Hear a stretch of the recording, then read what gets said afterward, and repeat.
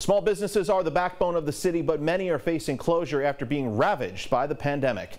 News 12's John A. Caldwell has more now from a Brooklyn business owner who says he's on the brink of closure if he doesn't get some financial assistance soon.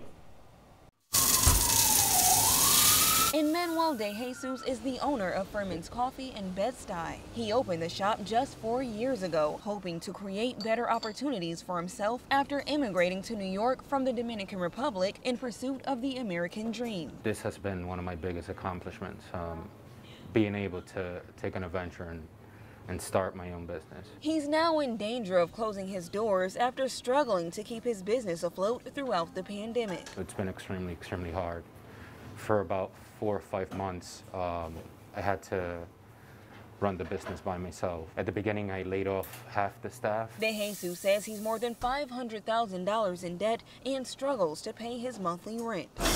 And according to a survey by the nonprofit Local Initiative Support Corporation, he's not alone. We surveyed a little over 130 um, small minority businesses across the city. About three fourths feel like they will be closed down very soon. Uh, if they don't get uh, sufficient enough um, financial assistance. DeJesus says after not qualifying for previous Paycheck Protection Program funds, he's now looking for more government help. But for now, he remains optimistic. I like to stay positive and, and to think that, you know, something much bigger is going to open up and, and, and something else is going to happen. In Bed-Stuy, Johnny Caldwell, News 12.